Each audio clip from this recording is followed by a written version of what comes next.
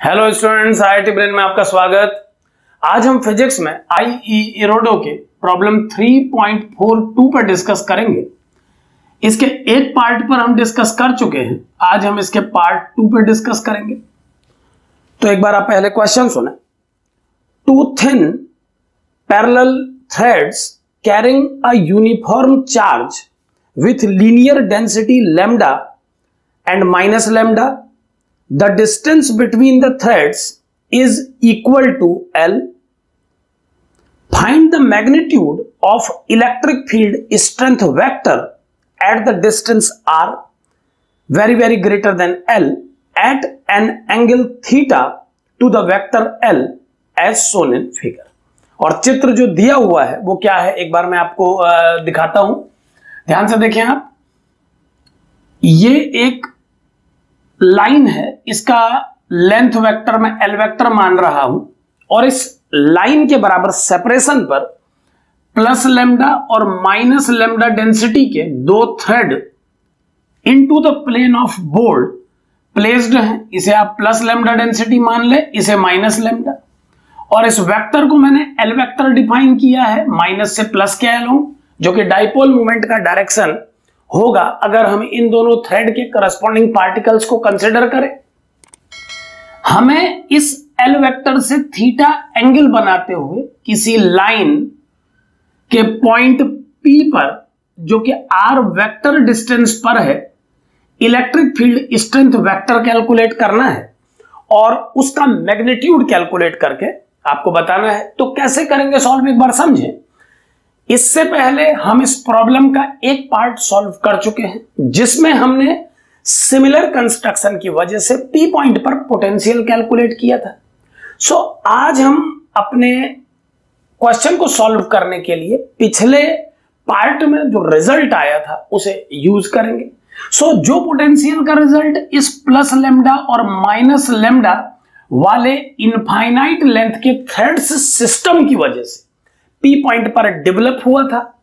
वो पोटेंशियल का वैल्यू जो पार्ट वन में हमने कैलकुलेट किया था, वो मैं डायरेक्ट लिख रहा हूँ, वो था lambda L cos theta upon two pi epsilon naught R कुछ इस तरह का रिज़ल्ट पोटेंशियल के लिए हमने कैलकुलेट किया था इस सिस्टम के कारण पी पॉइंट पर।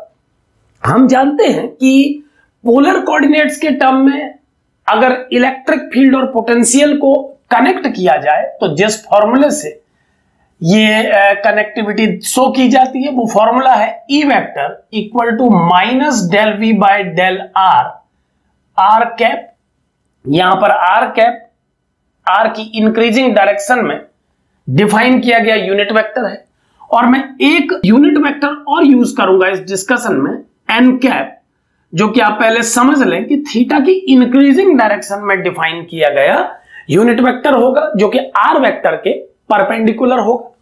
सो so, दूसरे कंपोनेंट को हम लिख सकते हैं minus del V upon R del theta into N cap. कुछ इस फॉर्मूले से इलेक्ट्रिक फ़ील्ड और पोटेंशियल को कनेक्ट किया जाता है। सो so, अगर पोटेंशियल का रिज़ल्ट इस सिस्टम के कारण पी पर हम कैलकुलेट कर चुके हैं तो आज इस रिज़ल्ट को यूज़ करके इलेक्ट्रिक फ़ील्ड कैसे कैलकुलेट करेंगे देखते रहे आप। पार्शियल डेरिवेटिव का अर्थ है जिस वेरिएबल के रिस्पेक्ट में सॉल्व किया जाना है, उसके रिस्पेक्ट में डिफ्रेंशिएट करें और अदर वेरिएबल्स को कांस्टेंट समझें। तो जब आर के रिस्पेक्ट में मैं इसे डिफ्रेंशिएट करूँगा तो ध्यान से देखें, ये बनेगा lambda L cos theta upon two pi epsilon naught इन सभी टर्म्स को कांस्टेंट मान लिया गया है और आर की माइनस वन पावर का जो डिफ्रेंसिएशन होगा, वो one by R square negative होना चाहिए। सो आर कैप कंपोनेंट कुछ इस तरह आया है। और थीटा के रिस्पेक्ट में पार्शियल डेरिवेटिव निकालने के लिए मैं आर को कांस्टेंट मानूँगा। और आर को कांस्टेंट मानते हुए कांस्टेंट पार्ट को अगर मैं यहाँ लिखूं, ध्यान रहना चाहिए कि एक आर ऑलरेडी इस एक्सप्रेशन में अवेलेबल है। सो उसे भी इंक्लूड करते हुए हम लिखेंगे lambda L upon two pi epsilon naught R square और कॉस थीटा का डिफरेंशिएशन बनेगा। Minus sine theta N cap इस वेक्टर फॉर्मेट में ऑलरेडी हमने लिया हुआ है।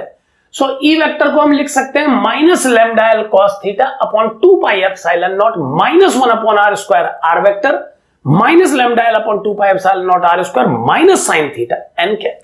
अब अगर मैं इसे सिंप्लीफाई कर दूँ थोड़ा सा, जितना भी ये हो सके तो ये बन जाएगा one upon two pi epsilon naught lambda L cos theta upon R square.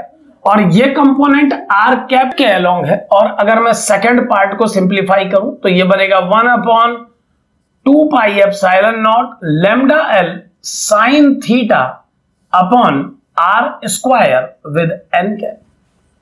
So कुछ इस तरह का प्रेजेंटेशन आएगा इलेक्ट्रिक फ़ील्ड वेक्टर के लिए और अब चूँकि इसका मैग्नीट्यूड पूछा गया है प्रॉब्लम में तो मैग्नीट्यूड कैलकुलेट करने का जो वे है, अगर हम उसे अप्लाई करें तो ई वेक्टर का मैग्नीट्यूड हमें मिलेगा one upon two pi epsilon naught lambda L upon R square ये कॉमन टर्म्स है।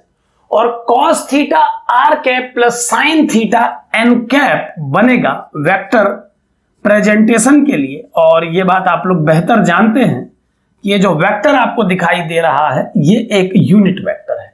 सो so, इसका मैग्नीट्यूड वन आना चाहिए।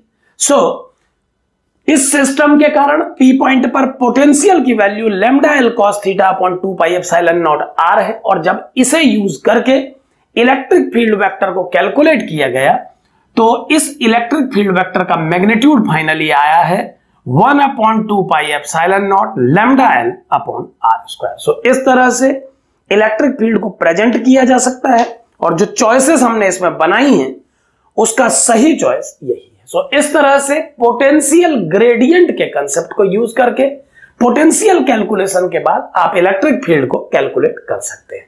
यहाँ पर ध्यान दें कि अपनी अगली क्लिप में हम ये फॉर्मूला फिर से डिराइव करेंगे। लेकिन तब हम पोटेंशियल के एप्लीकेशन पोटेंशियल के डेरिवेशन के साथ इसको कनेक्ट नहीं करेंगे। आज हमने पोटेंशियल के रिज़ल्ट को यूज़ करके उसके डेरिवेटिव की हेल्प से ई कैलकुलेट किया है। अपने नेक्स्ट क्लिप में हम इलेक्ट्रिक फ़ील्ड वेक्टर को विदाउट पोटेंशियल डायरेक्ट कैलकुलेट करेंगे। Thank you